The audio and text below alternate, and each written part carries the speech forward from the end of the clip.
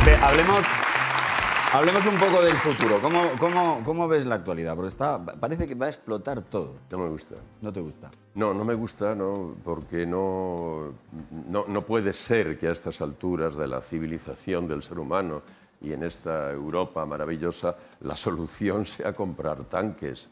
No puede ser la solución el armarse. No puede ser la solución de la respuesta a la belicosidad con la belicosidad.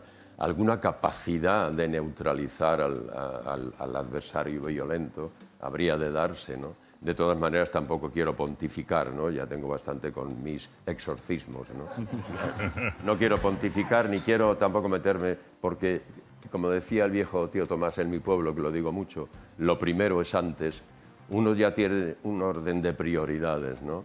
Sí me gustaría que hiciésemos todos, ¿no? Los ciudadanos, los de a pie, la sociedad civil, una reflexión a propósito de a quién autorizamos para que nos represente, ¿no?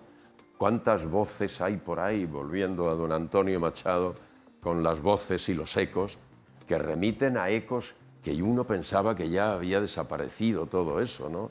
Y ahí sigue todavía esta cosa del ser humano. Y del- no- pero no sé, porque, eh, o sea, si los políticos cada vez tienen menos nivel, a lo mejor también es porque nosotros cada vez somos más superficiales. No te quepa ninguna duda. No te quepa ninguna duda. Creo que hay niveles de responsabilidad, no cabe, pero por supuesto. Lo difícil de verdad es encontrar inocentes del todo. De una manera u otra, ya leo mucha propaganda a mi amigo David Trueba, pero yo aconsejo que se lea Queridos Niños, una novela suya donde viene a poner sobre el tapete esto. que parte de responsabilidad por acción o por omisión nos corresponde a los de a pie a la hora de tener a unos y no a otros.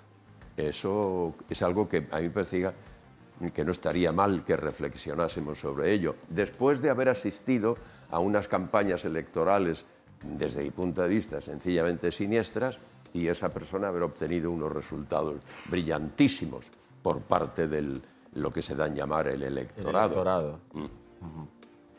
Dejo esta pausa para que se respire lo que acabas de decir.